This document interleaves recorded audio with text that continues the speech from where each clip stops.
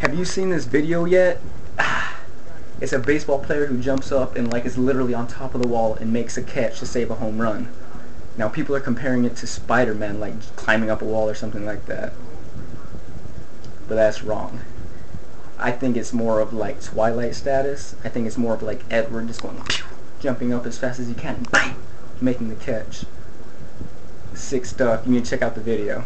I'll put the link below.